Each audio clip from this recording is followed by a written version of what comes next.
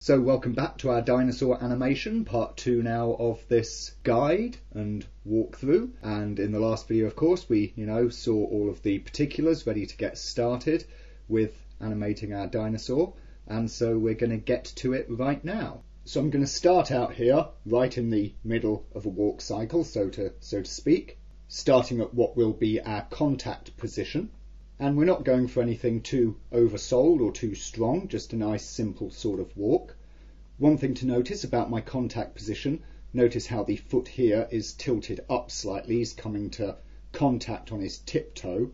Obviously this mesh is just a, you know, basic sort of block mesh. But if we imagine we've got the three-toed theropod, then this is when he's putting the toes down, ready to sort of spread his weight onto those three toes. So we'll go for a 12 frame cycle here. So I'm just going to come along 12 frames.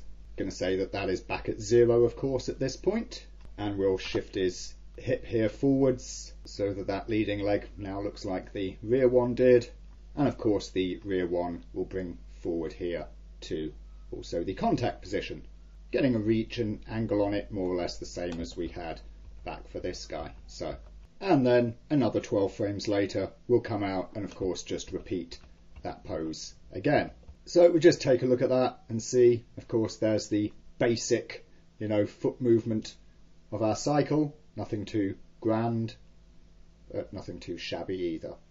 Timing's okay, 12 frames, that's alright. Reasonably happy with that, I think. It probably wouldn't be too bad to actually have it even going slightly slower so with that in mind, at this nice early stage where I've got very little keyed, that's what I'm going to do is I'm going to slow this down a bit. Let's just give it the old playback to see what it's looking like. Right, I'm going to bring it out, let's say two frames, and of course the following key here by two frames, so that's now 14, one to the next, and that's not bad. I think I'm quite pleased with that. Don't really want him going much slower than this. So all in all, I'd say that I'm reasonably happy with that.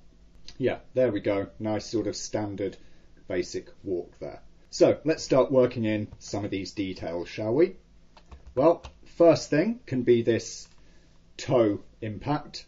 We'll do a one, two frames to bring that down nice and flat. And of course the same on the opposing side here, one, two frames, bring it down nice and flat. So that begins to give us his toe contact there. Right, the raising of this leg and the moving of it forward.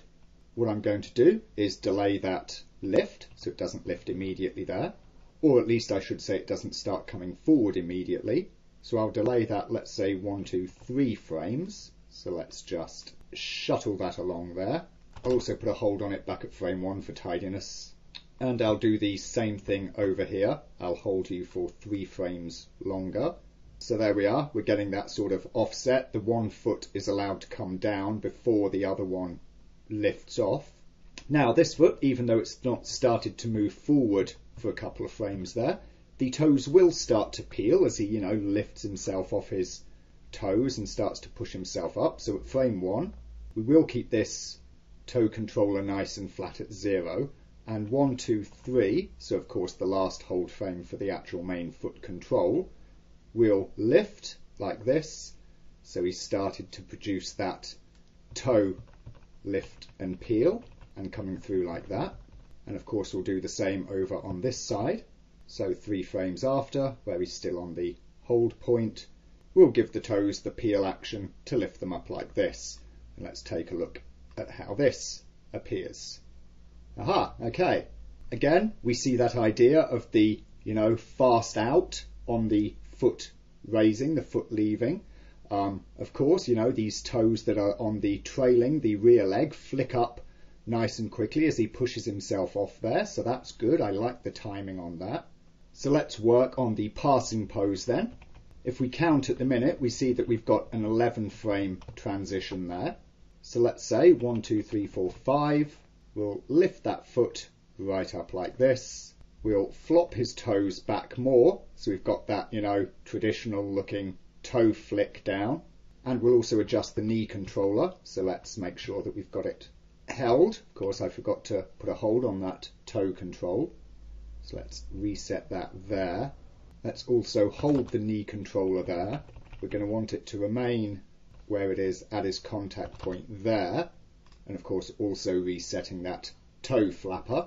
And then here at that midpoint, we'll bring his knee up like this. So he's really lifting that leg to pull it over. And we're getting this action here take place. Let's just watch it on the one leg.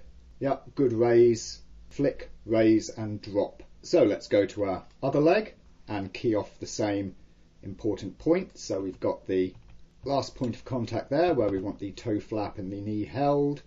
And of course we've got the point of contact, which is here where we want them held. And then one, two, three, four, five.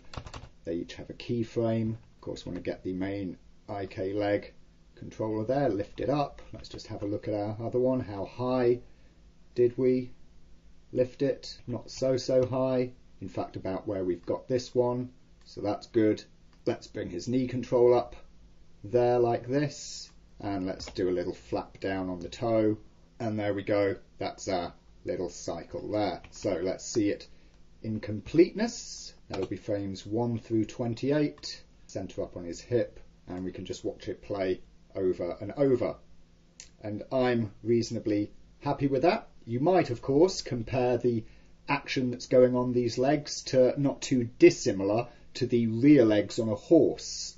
And it's certainly a fair comparison, and just with the you know basics that we've got keyed in here, the appearance isn't that different.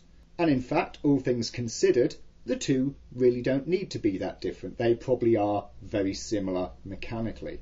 What we might have is we might say that, well, you know, the hip sort of looks a bit lazy in a way.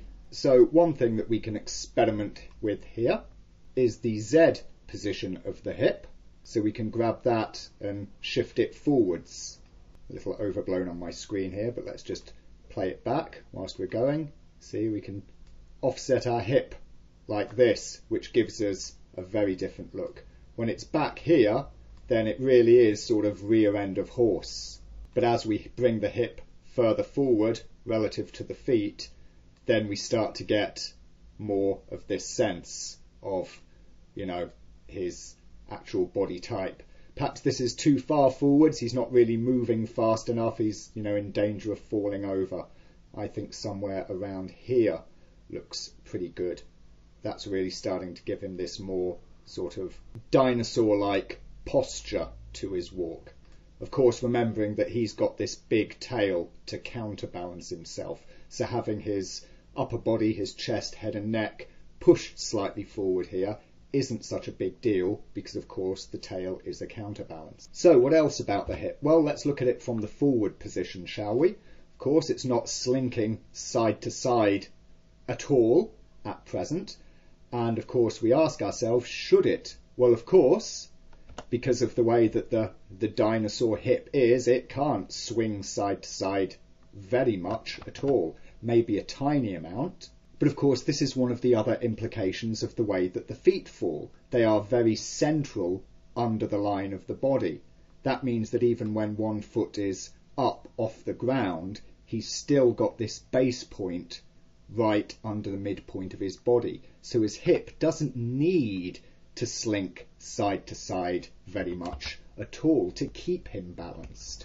Of course, it is possible that there could be a small amount of such shifting, so we will put in just the tiniest little dodge, and really, really quite tiny little dodge, and we'll do it right at the point where the trailing foot is hitting its highest point. So a very tiny little side to side shifting of the hips there very, very minor indeed.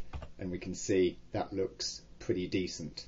There we go, just that little, little, very slow, very minor shift. We can see as well when these feet are coming up to their high point in their crossover or their passing position, we can push those ever so slightly sideways so that the action up to down is more in this line that the leg is making there. Perhaps we should turn on our show motion paths at this point as it helps us to really visualize that much more readily and easily there. We'll do the same, of course, for this leg here. Get its upward motion to fall in line with the angle of the leg structure, the leg anatomy. And there we go.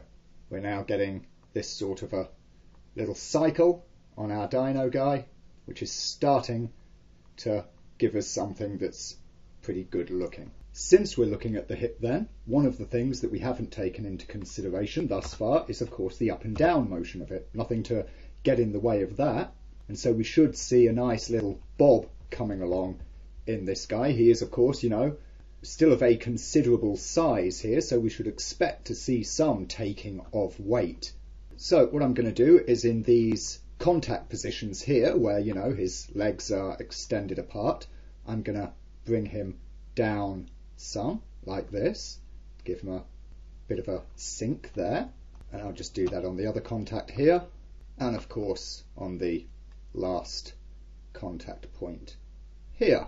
Let's just have a look to make sure that they're roughly equal in height, which they are more or less, just like that. There we go. And that leaves him then pushed up here on his passing poses. Then, let's say one, two, three, after the touchdown of the toes here. Obviously the toes bite into the deck and I'm going to let his body weight sink just a little bit further as well. So we get the, you know, the down position and then he crunches down some more as he takes the weight there. One, two, three. Bring him down just like this. And that gives us this little bob action like that, which really starts to help sell our motion now at this point. One thing I'd say that we can see since we've shifted his hips slightly forward of his feet positions is that the trailing foot there on both sides does suffer something of a snap. Obviously putting the hip down at the extension has helped that a bit but it's still not perfect. So what I'm going to do is this key that starts to pitch his toe up and roll it, I'm going to extend that backwards by a whole three frames, so all the way here, perhaps even one more, four frames. So we'll do the same here for this one. So of course that's now starting to come up sooner. And of course we want to correct the first frame here to put that in at about the same angle as it would be at had it been coming out of a cycle there. We can see that we're still getting a little bit of a snap there, but we can adjust that by changing the motion here of the knee control. So we see that it wants to be there at this point and that's all fine. But at this point here where we go for big extension, let's bring it back as well so that puts the press into the knee and less so here on the ankle. And so that helps get rid of that nasty little snap that we have. So there we go, looking nice and smooth on the feet there tying in with the hip well, and it's all working out pretty nicely.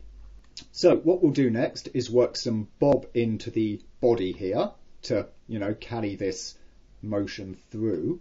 But this is going to be an overlapped motion and also a slightly balancing motion. So we'll actually run it counter to basically what's going on at the hips. So what we'll do is we'll find the old contact pose there, and that's the lowest point for the hips here. One frame after that, so overlapped, we'll have the body sort of pointing up a little bit. Then we'll find the next low point for the hips, which is here, and one frame after, just rekey the body there. Obviously, same point in the cycle, but for the opposite side. Then we'll find the high point for the hips, which is here, and one frame after that, we'll bring the body down some, just a little like this. That way his body overlaps and sort of undulates against what his hip is doing. Sort of, basically, the attempt is to keep his head more or less level. As such, we'll come in and we'll animate the head and neck in a similar fashion. So we'll just dodge the neck slightly down there. This is of course in time with the body key. And we'll just raise the head a little to keep it flat come out to that equal point in the cycle and key them both there again. Then go back to the body in between This is where the body is down. Raise the neck up slightly, pitch the head down, and what we're getting is this little head bob.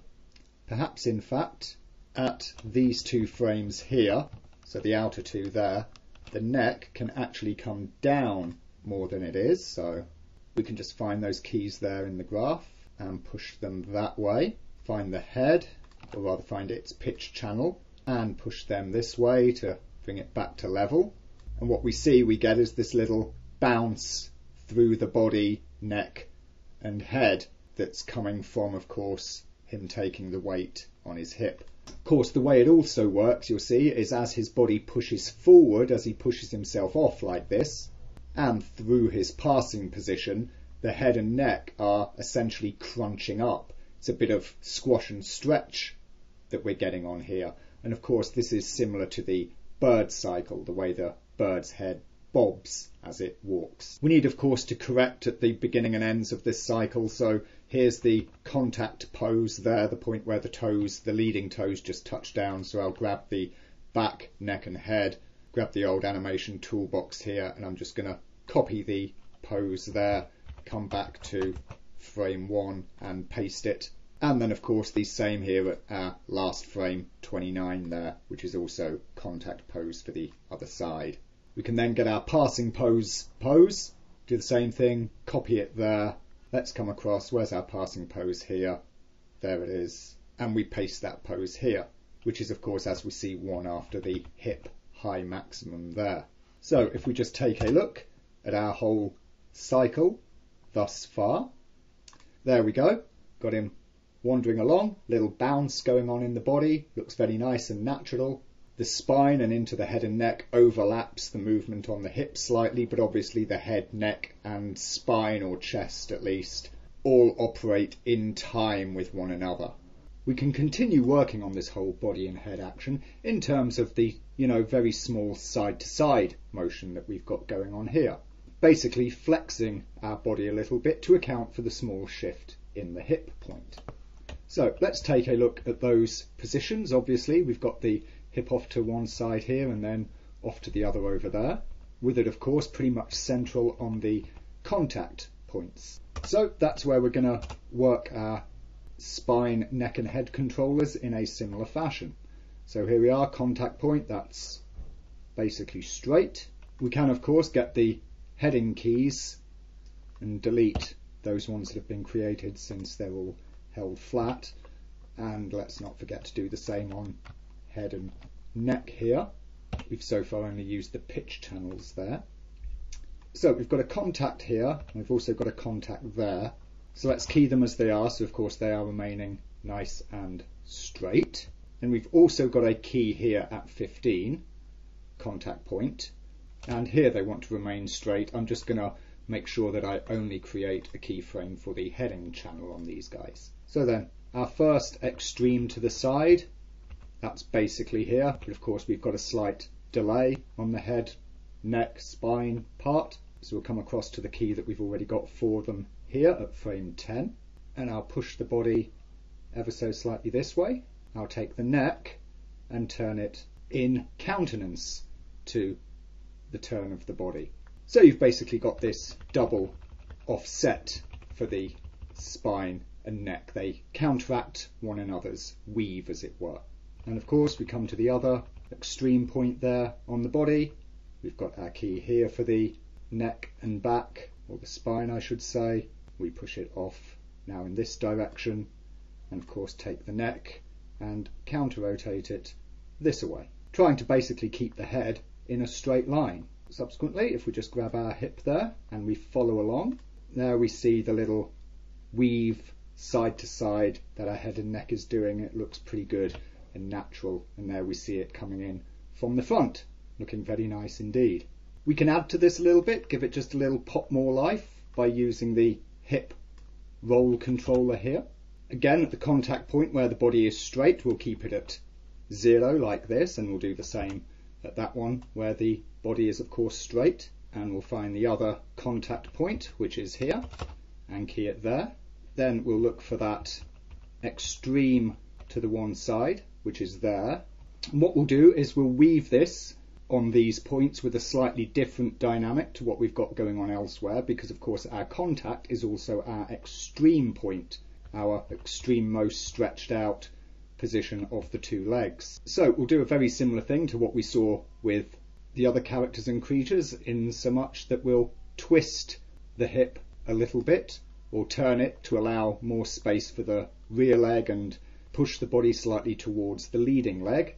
And of course we'll alternate that for this contact point and also of course for that repeated contact point there. And notice, of course, that the amount that I'm pushing it by is very minimal indeed, of course, because once again, this represents a twisting and swinging around of the hips, which, as we already discussed, is a bit of a no-no in this type of creature here. We see it playing back, and that's what it looks like. Next then, we'll want to work on the tail. And the tail, of course, as a balancing aid, this is going to swing back the other way like this, and we're only going to swing from this top tail point. We're not going to curl the entire tail. So we're going to swing it that way ever so slightly, just past the center line at this contact point there. Obviously keying it there, and then at the opposing contact point, which should be here, yep, right there, we will swing it back, just like so. If we then look at the whole thing playing back, we can see that we've got this subtle little weave on the body, very gentle, very steady, not oversold at all. And mostly, of course, as we see happening in the head and neck, you've got this real balancing out of the head and neck going on there. The rest of it is very soft, very subtle, not much movement at all in that sort of a fashion. And so, so far, this is looking pretty good. With the tail, we will also, of course, have a bobbing up and down motion to work with the hips and the spine and everything else, but we will do this in the same manner as we did on the quadruped. So it won't act over a single left, right, left cycle, it'll work over a double cycle. Of course, there's no way of knowing whether this is right or wrong for a dinosaur, but it is a tail action that you see repeated in a great many animals. As such, there's a reasonable suspicion that it might be the correct choice. So we won't do that right now. We'll come on to that once we've got a second cycle pair laid in. Otherwise, the only thing left to do for this single cycle is to put a bit of action on the arms because at the minute he's just carrying them along there very straight and flat. So we'll just grab our arm IK controllers and we're basically just going to create a little bob for them. So key them there at 29, which is of course the same point in the cycle. And what we're going to create for them is again an overlapped action. So as his body starts to come down here at the impact, just two frames after the contact, we'll key them held, and then one, two, three, four, we'll give them a little dip and drop like that. So we're getting this little overlap bob of the arms we can come out to the other contact point, which is where they're going to basically want to copy whatever the pose was there. So let's just copy that and paste it in here. And also, as he goes up past and over his top point, his high point of the hip there at the passing pose, we'll just come one, two frames after that and bring the arms into the up position here. So there we've got that little natural overlapping bob there. Then for simplicity's sake, we can just copy these motions 3 to frame 11, come out 1, 2, 3 frames, and just paste it there. And that gives us the same timing for the other side. And so we watch that back, and there we see the arms doing this little bob along. Obviously, I've got a double frame there. There we go, clean that, it goes into a nice clean cycle. If we want to add a little bit of variation, which is always a good thing, then I'll just pull up the graphs. I'll just pick one of the two arms there, grab its Y and Z positions, which of course are the ones that we're interested in here. And I'm basically just going to grab all of those and I'll shove it back a little bit there on the Y and grab the Z and move it just down a little bit there on the Z so he doesn't have these perfectly twinned arms. So that adds a little bit of asymmetry there to our character, which is a bit more realistic, a bit more natural. Okay, so here's our cycle so far then. I think it's looking pretty good. We can check it out from other angles to see how it's playing. Make sure that we're happy with what we're seeing and what we're getting. And I think that really it's, you know, looking quite nice. I don't think that this is a unreasonable or particularly unrealistic sort of movement, motion, design to have for a dinosaur character of this ilk. So with all of those basics laid in, then we can go on to a bit of key or pose motion, copying, pasting, what have you, to get a second cycle in here. So we've got a full two steps, left, right, left, right. And that gives us our two cycle timing that we can begin to then work in the wag of the tail onto. So first of all, let's pop open the old graph editor here for that first tail controller, which of course we already animated and let's just make sure to get rid of any pitch keyframes that were created there. Then, how are we going to do this? Well, let's set an initial sort of pitch. I think something like this isn't in fairness too unrealistic. Maybe flex that a little bit. Let's bring that down a touch like that. Okay. Since we have the same pose here at the last, obviously, we'll just key them both like that as well. So what are we going to do? Well, we'll just run this a little bit counter to the hip there, or rather just overlap it slightly. So as we come down here, the hip hits its base and starts to pop up. So at this point, I'll bring that down, let's say, something like this. That of course is one, two, three, four, five frames after the contact. So I want to go on, not to the next contact, but the contact after, which is here. So one, two, three, four, five, six. And we key it in essentially the same place. Then I'll come over to this contact here, which is of course the opposing one from where we had it there. And then one, two, three, four, five, six. I'll key it slightly up like this. And of course, we'll come to the equivalent here, one, two, three, four, five, six, and key it up slightly like that. And so what we get is this same sort of double bouncing action going on in the tail there. Very soft, very subtle. We can just have a look at its graph here, okay, and see that we just need to tweak those keys slightly there. So that one becomes an up and that one's a down. And this is starting to go back up again. So let's set the angle something like that. Of course, that would want to be more or less equal to it. So that then gives us this cyclic action, but that's taking place over two full steps rather than one step. Let's just zero in on our hip so that we can see it taking place. And there it is. Let's do a similar thing then on the tip but let's overlap it just a little bit more. So one two three four five six seven. Will allow that to flop down there. Come over to where that first tail controller was at its up. Go one frame over and raise that up come to where this hits its next down which is there bring this second tail controller down a little bit there. Actually, I've got that 35. It should be at 36 because we're on a 14 frame cycle here. And then again, 1, 2, 3, 4, 5, 6, 7, 8, 9, 10, 11, 12, 13, 14 is where you're reaching your upward position again and coming through like this. So there we see, let's grab the hip, our tail doing this two point bob as he walks along. But of course with the single point side to side, and that gives us an overall effect something like this. Of course, the tail doesn't look very dynamic at all. It looks, you know, really tightly sprung, which of course is what we want. This is a stiffened tail.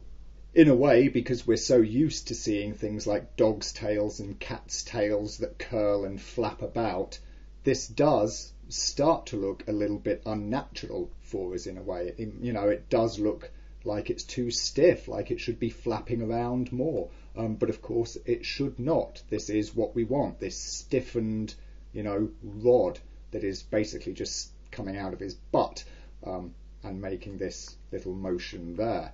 What we do, of course, see if we look at it from the rear side, let me just turn off the centralization there, is that it's making this long form little, you know, oval shape down and up and round and round and down and up and so on like this. So that's the basic movement that we're getting out of it. And as we can see when we see it from this angle, looking down the spine and into the head, we can see what the intention really is here and how it is coming together. So that's pretty good. And certainly, of course, knowing that this tail should be stiffened, that it should be like this wire rod that's just projecting out the back. Certainly, this motion looks pretty good for something that is supposed to be that way. So as we are here, I can say that I think we're reasonably happy with it. And with all that done, it's really just a matter of more copying and pasting to extend our walkout even further, just as we've done with, you know, quadruped before and biped before that and so on. However we choose to do it, motion copying, just straight off animating it by hand, it doesn't really matter. So, whilst that's all nice, very pretty, we've got ourselves a good, decent dino basic walk cycle here. Um, we are not going to stop there. We will, in fact, do a little bit more to jazz this up some, um, rather than just having ourselves yet another standard walk cycle animation. Let's try and take it a little bit further and get some sort of interest or excitement going on here. We will, however, once again take a break for the minute and continue to do all such things in the next video.